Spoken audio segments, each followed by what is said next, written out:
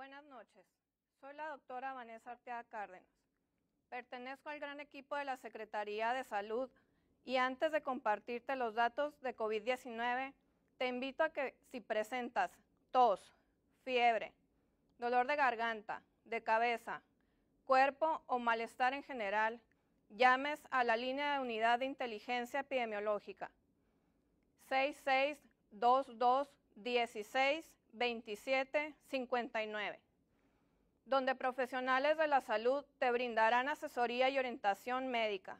El horario de atención es de lunes a domingo de 8 de la mañana a 8 de la noche.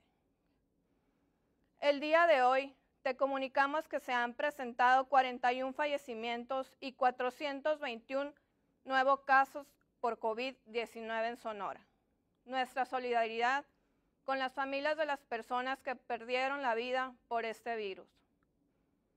Los 41 fallecimientos ocurrieron en 21 mujeres y 20 hombres, entre 38 y 88 años de edad, residentes de San Luis Río Colorado 12, Hermosillo 10, Guaymas 7, Nogales 5, Cajeme 4, Navojoa 2, Agua Prieta 1 iniciaron síntomas entre el 31 de mayo y el 4 de julio y fallecieron entre el 16 de junio y el 7 de julio.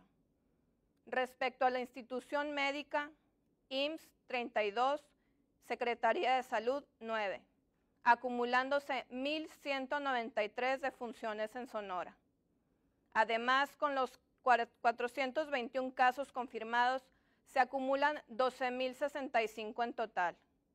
Los 421 casos ocurrieron en 236 mujeres y 185 hombres, residentes de Hermosillo 301, Caborca 28, Agua Prieta 25, Cajeme 17, Guaymas 16, San Luis Río Colorado 12, Magdalena 6, Empalme y Pitiquito tres cada uno.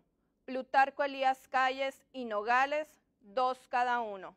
Navojoa, Naco, Altar, Cananea, Santana e Imuris, uno cada uno. Entre ellos, tres casos pediátricos, en dos niñas y un niño, cuyas edades oscilan entre 9 y 12 años.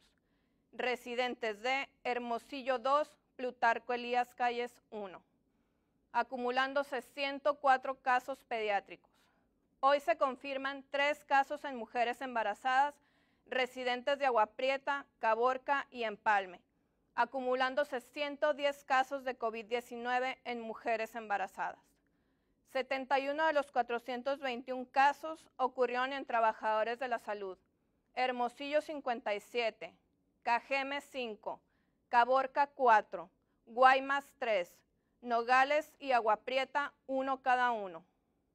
A nombre del equipo de la Secretaría de Salud en Sonora, deseamos una pronta recuperación al secretario Enrique Clausen.